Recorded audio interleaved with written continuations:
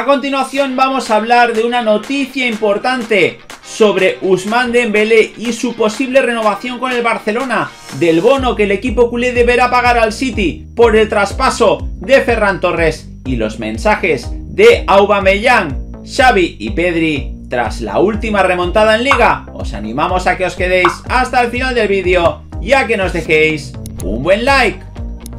¡Vamos a ello!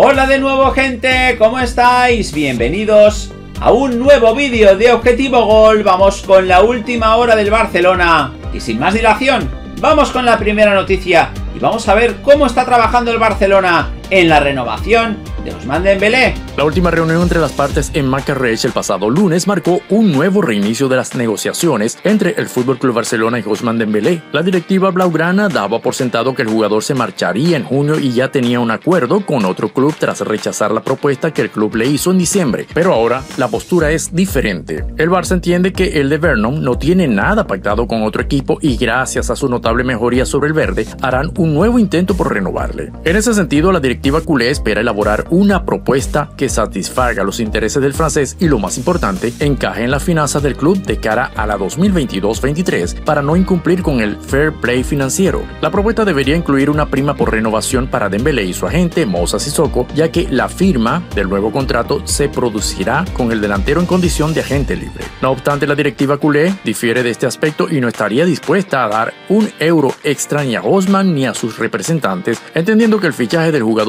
ya fue lo suficientemente costoso como para tener que pagar una bonificación extra por renovarle este verano. En agosto de 2017 el Barça pagó 105 millones de euros al Borussia Dortmund por su traspaso, en una operación que alcanzó los 145 kilos incluyendo variables. La próxima reunión de Sissoko se puede efectuar en los próximos días o después del aceto de Semana Santa en Macarrech. Mateo Alemani se encargó de liderar la comitiva blaugrana mientras por el jugador también estuvo presente Marco Lichsteiner, el otro de sus representantes. En principio, la prioridad del jugador de 24 años apunta a quedarse en Barcelona, ya que se siente cómodo en el equipo gracias a la confianza que Xavi Hernández ha depositado en él. El técnico egarense ha sido fundamental en el cambio de planes de Hosman. Cuando los planes de la directiva apuntaban a apartarle del primer equipo y dejarle en la grada hasta junio, Xavi intervino oportunamente para mantener a Dembélé en la plantilla y el delantero le respondió con buenas actuaciones, viniendo desde el banquillo, tanto así que fue capaz de recuperar la titularidad,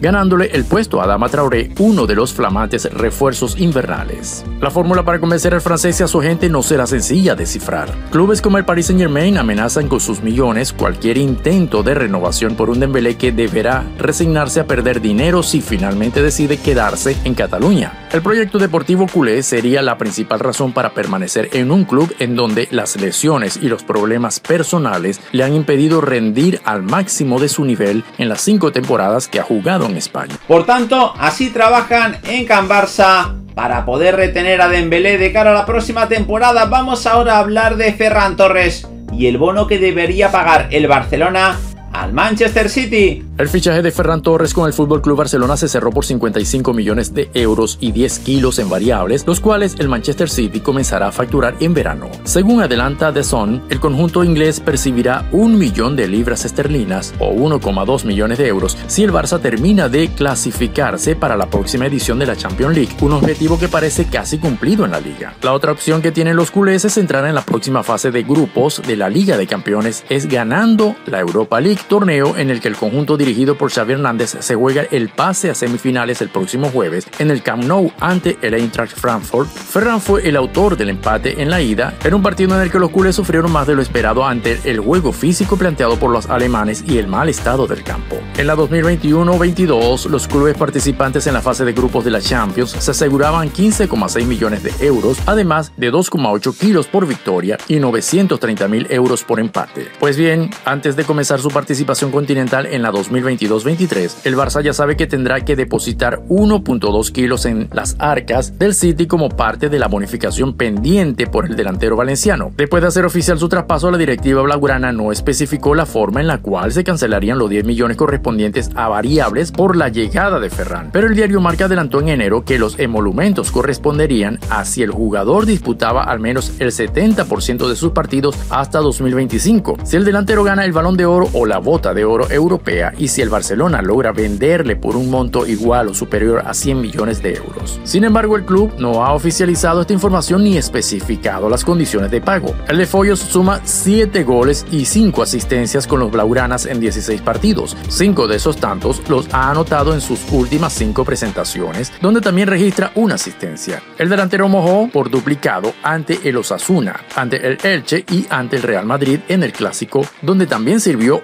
uno de los goles del 0-4 en el Santiago Bernabéu. El domingo, el 19 espera seguir de dulce cuando visite su ciudad ante el Levante. Vamos a hablar ahora de las declaraciones de Pedri González al finalizar este último partido de liga entre Levante y el Barcelona. El Barça salvó los muebles en el campo de Levante gracias al tanto de De Jong en el minuto 22. Los de Xavi Hernández se pusieron abajo en el marcador y recibieron tres penaltis en contra. Pedri fue de nuevo uno de los mejores. El canario entró desde el banquillo en la segunda parte y desequilibró la balanza con su gol, una faceta que está mejorando. Es una cosa que me pide el mister. Tanto Xavi como Luis Enrique me piden que llegue al área y tire más. Es una victoria sufrida. Es verdad que aunque Levante esté abajo en la clasificación, se nota que están trabajando bien. Se están mereciendo algo más en los partidos. Tuvimos la suerte del gol de Luke en el último minuto, analizó. Además también se refirió a la cantidad de partidos consecutivos disputados. Creo que estamos teniendo muchos partidos seguidos y eso se nota en las piernas. Esta noche al principio faltaba un poco de intensidad. Tiene una calidad inmensa y un potencial buenísimo. Y sobre todo la intensidad que le mete tanto a los partidos como a los entrenos es una auténtica locura. Espero que siga así porque le tengo mucho cariño y quiero que sea lo mejor para él, dijo sobre Gaby. También habló, como no, Xavi al finalizar el partido y habló de Luke de Jong